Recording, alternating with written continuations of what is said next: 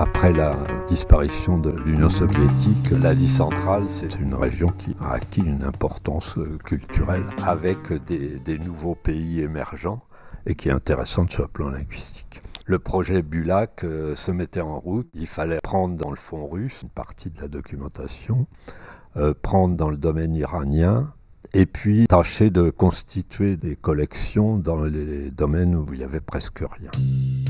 À l'école des langues orientales, il y avait cette bibliothèque euh, assez fascinante où les livres étaient dans des armoires fermées et on distribuait aux étudiants les manuels. C'était une bibliothèque à l'ancienne, mais euh, extrêmement riche. Le catalogue a été le, nerf de la guerre, l'arme essentielle de la création de la BULAC. La grande urgence, c'était de cataloguer et de rendre accessibles les fonds existants. Donc on a mis l'accent sur le, catalogage, le, repérage et, l'accessibilité. Il y a eu des, donations et des acquisitions très importantes dès le début. Alors, la collection Brunette Prel, qui est unique, qui a toutes les premières impressions en grec, et en cherchant dans la partie la plus ancienne des différents fond, on retrouve euh, un peu le même phénomène, les premiers textes euh, disponibles, les premiers textes imprimés, les premières méthodes d'apprentissage.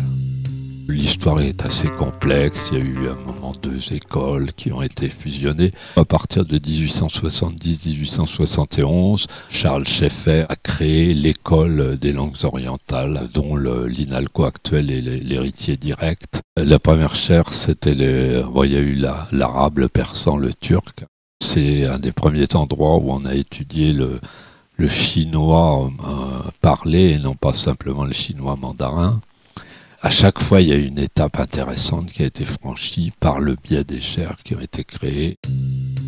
En 66, après mon bachot, en même temps que je faisais des études de, latin et de grec, j'ai commencé à apprendre le persan à l'école des langues orientales et j'ai découvert euh, le persan grâce au professeur Gilbert Lazare qui était un, pédagogue remarquable et enthousiaste. J'ai fait de l'arabe avec euh, Gérard Troupeau, de l'arabe classique. J'ai commencé cette carrière à la BN en 1974 et donc je suis resté 29 ans au département des manuscrits de la Bibliothèque nationale où j'ai travaillé à refaire le catalogue des manuscrits persans et j'ai aussi travaillé sur les enluminures et les peintures des manuscrits orientaux. Ensuite, euh, j'ai été euh, pressenti par le musée du Louvre et j'ai été pendant trois ans le premier directeur du département des arts de l'islam quand il a été créé. J'étais très lié à Bernard Ourcade, qui, avait été directeur de l'Institut français de Téhéran, que je connaissais depuis des années. Et euh, Bernard, qui a toujours été un visionnaire, était tout à fait partant pour ce projet Bulac et il m'a convaincu. Il y avait trois aspects. D'abord, la réunion de l'école des langues orientales avec ses, traditions et son charisme hein, qu'il fallait entretenir. Euh, le fait que j'étais passionné par les problèmes de bibliothèque. Et puis, fait de travailler sur un projet euh, innovant, etc., puisque je m'étais trouvé au Louvre avec l'histoire de création